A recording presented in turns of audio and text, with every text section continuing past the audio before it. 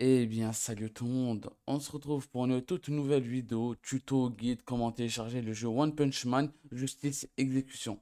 Je vous invite à lâcher le petit pouce bleu et à vous abonner à la chaîne, surtout pour les nouveaux. Ça m'aiderait à, mieux me développer sur YouTube, à être mieux référencé par la suite.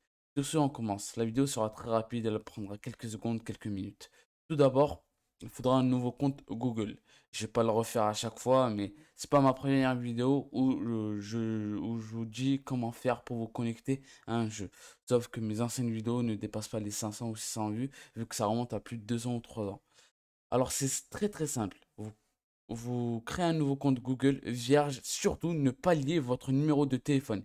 En fait, ce qui va se passer, c'est que si vous liez votre numéro de téléphone à ce nouveau compte Google, vous allez direct homologuer euh, localisé plutôt en France ou dans un pays dans lequel où vous mettez votre numéro de téléphone, que ce soit euh, Belgique, que ce soit euh, France, que ce soit, je sais pas, États-Unis, Afrique, un pays d'Afrique ou autre, ou Amérique ou Canada ou autre.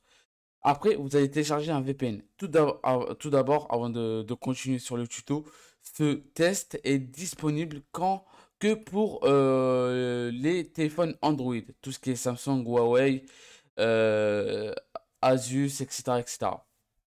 Du coup, vous téléchargez un VPN.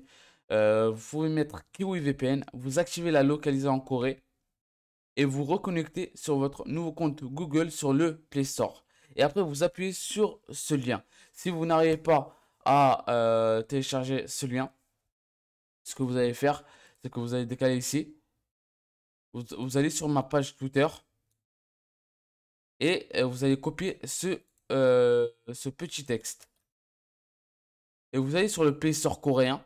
Du coup, vu que vous, êtes, vous avez déjà activé votre euh, nouveau compte plus le VPN, vous avez juste besoin de taper ce, nom, qui est le nom du jeu en, Chine, en coréen, et vous tapez ça sur la barre de recherche de Google, enfin du Play Store. Par la suite, vous allez euh, directement pouvoir le télécharger euh, vu qu'il sera en accès anticipé. C'est une bêta fermée bien sûr, du coup je ne sais pas combien de places il y a à l'heure actuelle. Je ne sais pas s'il y a encore de places actuelles, mais vous pouvez tester ça pour vos prochains jeux coréens, que ce soit de chez Netmarble, que ce soit encore euh, pour Black Clover Mobile ou autre. Sur ce les amis, je vous dis ciao, à la prochaine.